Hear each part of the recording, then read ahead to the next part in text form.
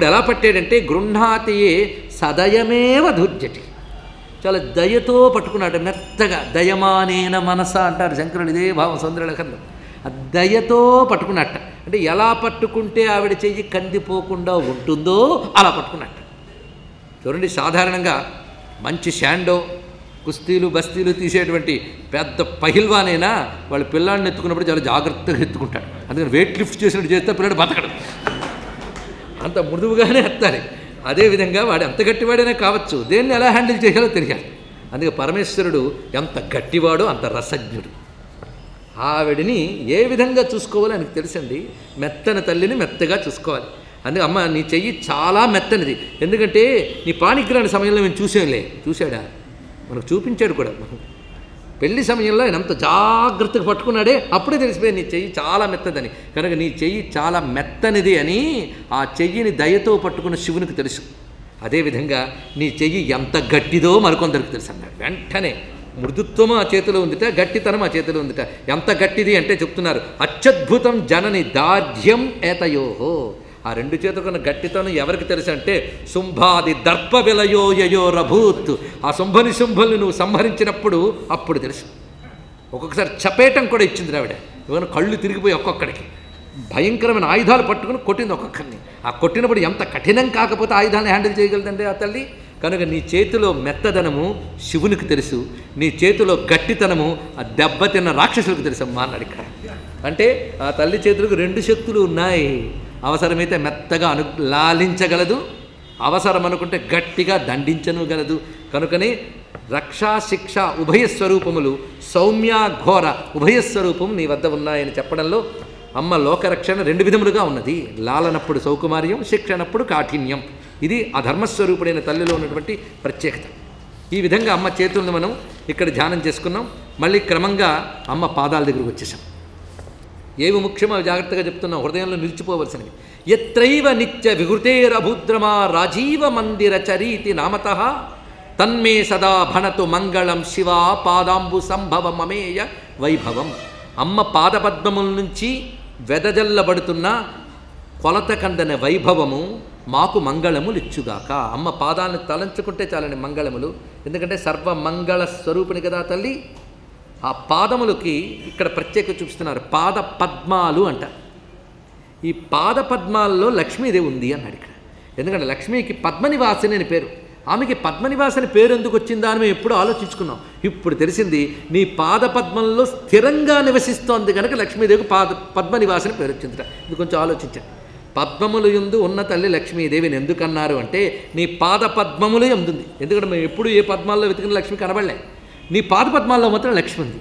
పైగా మిగిలిన పద్మాల్లో వచ్చి వెళ్ళిపోతుందేమో కానీ నీ పాద పద్మంలో స్థిరంగాను సమృద్ధిగాను ఉంటుంది.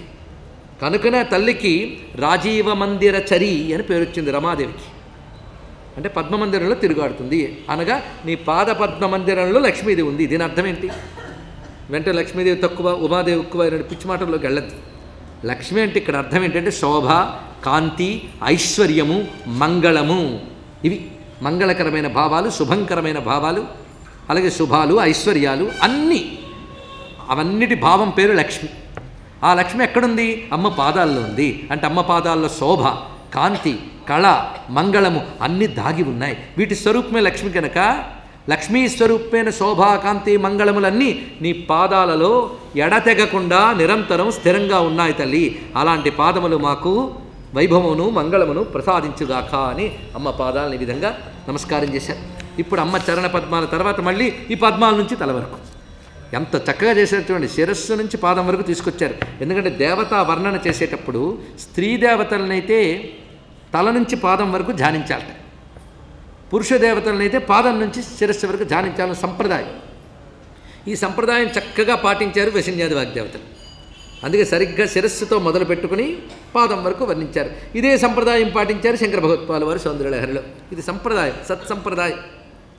అయితే ఇందులో మరో విశేషం ఉంది. అమ్మ చిదగ్ని కుండల నుంచి వచ్చింది కనుక మొట్టమొదటి శిరస్సే చూపిస్తూ క్రమంగా పైకి వచ్చింది కనుక వర్ణన కూడా ఆ క్రమంలో చేశారు. ఇది ఒక ఔచిత్యం. అయితే ఈ మహానుభావుడు అదే పద్ధతిలో మొదలుపెట్టాడు. కేశముల నుంచి పాదముల వరకు వచ్చాడు. కానీ తనివి తీరక మళ్ళీ పాదాల నుంచి కేశాలకి వర్ణిస్తున్నాడు. సంపూర్ణంగా అమ్మ రూపాన్ని అటు ఇటు వర్ణిస్తూ సవ్యాపశవ్య మార్గస్థ అన్నట్లుగా ఉచ్ఛ్వాస నిశ్వాస వలనే అమ్మ స్వరూపాన్ని ఇటు అటు చేయడం అనేది ప్రాణోపాసన కింద భావన చేశాడు మహాత్ముడు. అది దీనిలో ఉన్న రహస్యం. మనం ఉచ్ఛ్వాస తీస్తాం పైకి మళ్ళీ క్రిందికి వదిలేస్తాం. అదే విధంగా సాగుతోంది భావన కూడా.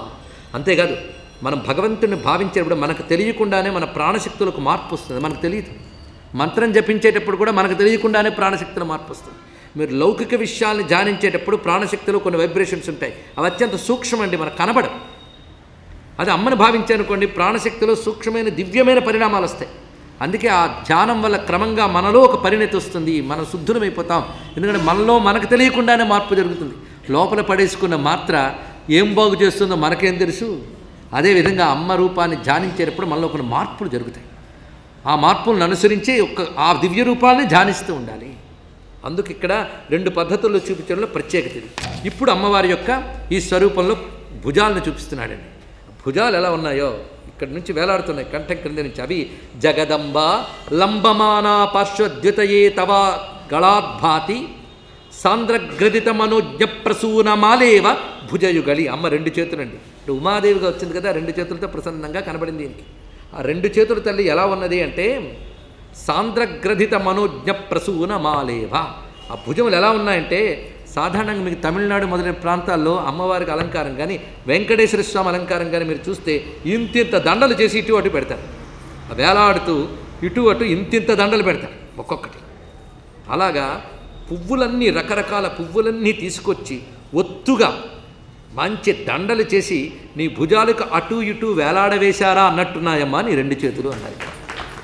అంటే అర్థం ఏంటి ఆ పువ్వులు ఎంత సుకుమారంగా ఉంటాయో ఎంత మృదువుగా ఆకర్షణీయంగా కమనీయంగా ఉంటాయో నీ భుజములు అంత రమణీయంగా సుకుమారంగా ఉన్నాయని చెప్పడం ఒకటి.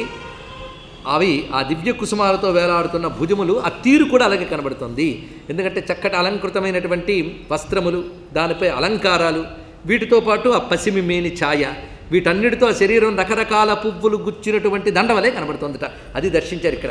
సాంద్రగ్రధిత పైగా దట్టముగా చేసిన అందుకని ఏదో మూరదండల్లా లేదు అది. సాంద్రగ్రధిత మనోజ్ఞ ప్రసూన ప్రసూనమాలేవ భుజయుగలి ఆగళాద్భాతి. ఆ కంఠం క్రింద నుంచి ఆ విధంగా ప్రకాశిస్తున్నదమ్మా అని వర్ణిస్తూ అటుపై ఇందాక చేతిని భావించిన దాన్ని మరికొంచెం మరికొన్ని గొప్ప గుణాలు ఆ చేతిలో చూపిస్తున్నారు. జానంతి శక్తి మసురాహ సుషమాం సఖ్యో వదాన్యతాం ఋషయ. దీనికోసం మళ్ళీ ఈ శ్లోకం చెప్పాల్సి వచ్చింది అదే భావాన్ని మరికొంత కొత్త కోణంలో ఇందులో దర్శించారు. మృదుతాం తవాంబ పానేర్ వేద సదేవ పురాంభెత్త. పురాంభెత్త అంటే త్రిపురాసుర సంహారకుడైన పరమేశ్వరుడు. ఆయనకి నీ చేతుల యొక్క మృదుత్వము తెలుసు శక్తి అసురులకు తెలుసు. ఇందాక చెప్పుకున్నాం. ఇక్కడ మరో రెండు ఎక్కువ చెప్తున్నారు. సుషమాం సఖ్య. నీ చెలికత్తెలికి ఆ చేతులు ఎంత మనోహరములో తెలుసన్నారు ఎందుకంటే అమ్మ సన్నిధిలో మసలాలి అంటే చెలికత్తెలే ఉన్నారు. ఆ చెలికత్తెలికి తెలుసు అమ్మ యొక్క ఆ చేతి యొక్క శోభ. ఎందుకంటే వాళ్ళు కూడా స్పర్శించడానికి జంకేదే. వాళ్ళు సుషమా అని సుషమా అంటే సొగసు శోభ సఖ్య వాళ్ళకి తెలుసు దగ్గరుండి చూస్తున్నారు కనుక. ఋషులకి అంటే నిన్ను ఆశ్రయించి ఉపాసించే జ్ఞానులకి ఆ చేతి యొక్క వదాన్యత తెలుసు అన్నారు. వదాన్యత అంటే దాతృత్వము అని అర్థం. చేతుల యొక్క మృదుత్వం శివునికి తెలుసు గట్టితనం అసురులకు తెలుసు శోభ చెలికత్తెలకు తెలుసు. ఆ చేతులకున్న దానగుణము ఆశ్రయించిన భక్తులకు తెలుసు అన్నాడు ఇక్కడ.